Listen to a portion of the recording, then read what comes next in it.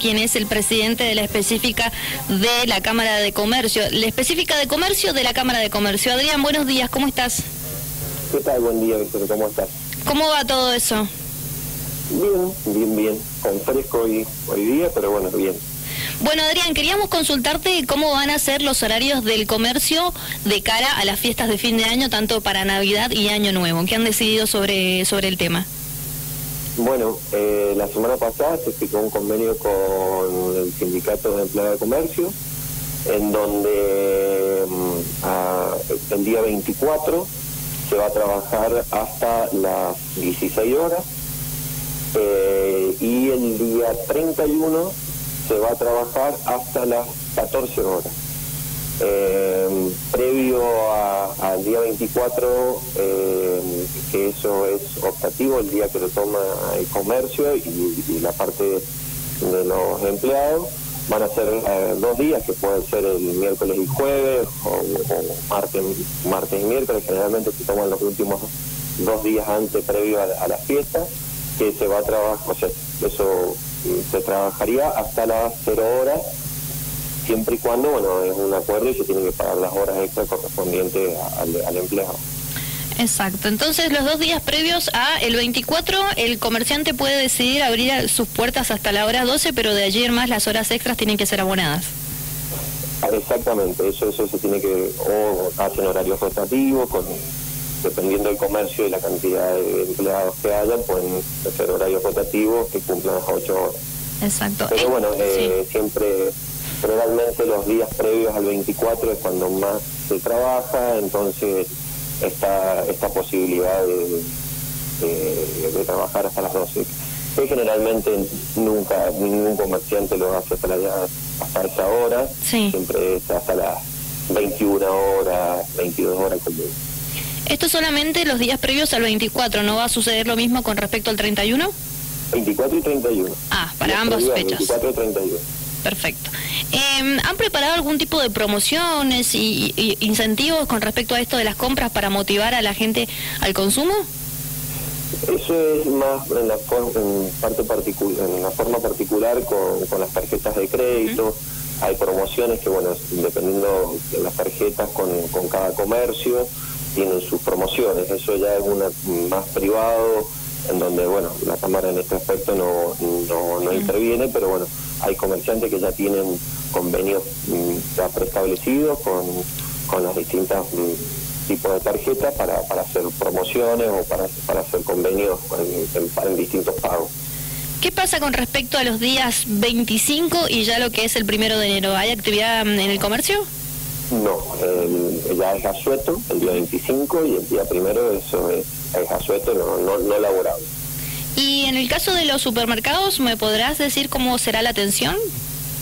Los supermercados, eh, eso se firmó en la provincia, el sindicato en donde el horario es más reducido, es hasta las 14 horas y no es como, como en el caso de, del día 24 que la parte del microcentro eh, va a trabajar hasta las 16.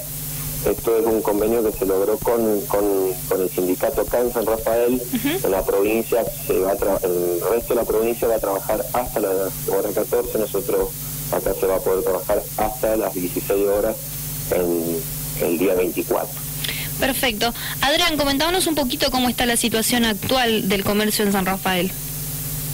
Mira, eh, siempre en estas épocas se, se trabaja mejor pero la realidad, bueno, es que hoy por hoy hay, hay muchos faltantes de, mercadería cuando son de origen extranjero, entonces está habiendo, está habiendo faltante o variedad de productos, eh, eso es lo que más problemas estamos teniendo hoy por hoy, mm.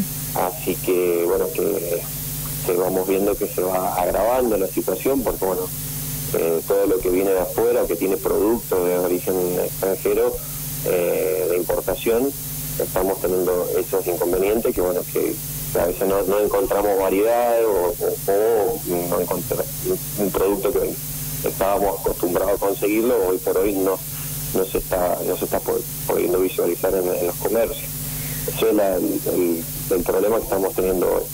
Siempre en las épocas de fiesta eh, se mueve la parte comercial, porque bueno, que los regalos, que, que, indumentaria, pero bueno, eh, venimos ya de, un año y medio complicado, entonces hoy por hoy el comerciante puede estar vendiendo, pero está la realidad que está, está, pagando fuegos de incendios que venimos arrastrando ya de un año y medio para atrás. Justo te iba a consultar eso, ustedes que están más en contacto directo con los comerciantes, ¿cuáles son los rubros que más han podido vender y cuáles son aquellos que están más golpeados? Y también cuáles son las opciones de pago que más utiliza la persona que compra. Hoy por hoy, eh, el 70% y, eh, es, con tarjetas de crédito, eh, no es pagos, el cliente está hoy, mm, trata de utilizar por esto también del, tema de, inflación, de la inflación, eh, trata de, comprar en cuotas y en el tema circulante de dinero efectivo es muy, la verdad que es poco, todo está haciendo a través de, tarjetas y, buscan lo que es promociones, descuento con determinados días puntuales, con determinadas marcas de tarjetas. hoy está pasando eso, que, que el 70-80% es solamente con tarjeta. Y eso, eso se está viendo mucho, que bueno, que, nos dice la situación que está pasando hoy eh, el, cliente, que no, la verdad que no, no dispone de dinero efectivo y tratan de, hacer las compras con tarjeta. Perfecto. Y te consultaba, eh, ¿tenés idea más o menos cuál es el rubro que más ventas ha tenido? Por ejemplo, indumentaria o, calzado, y aquel rubro que todavía no logra eh, recuperarse del todo tras la pandemia? Lo que es indumentaria, calzado, son los rubros que más, más movimientos hoy por hoy tienen. Eh, se ha visto un poco lo que es construcción, que, ha, habido una baja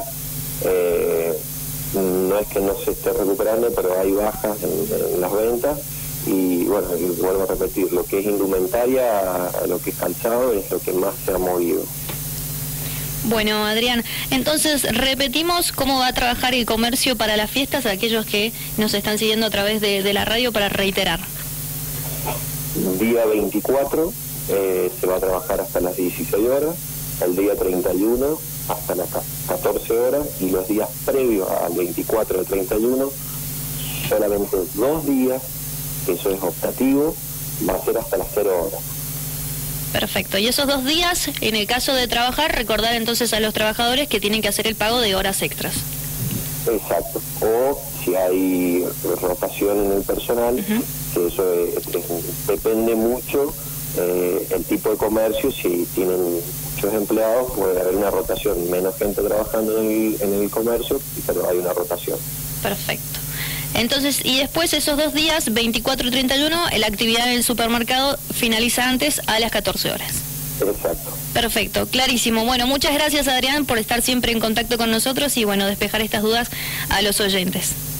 Muy, muy bien, muchas gracias a ustedes por comunicar. Estamos en contacto. Igualmente, felicidades. Hasta luego.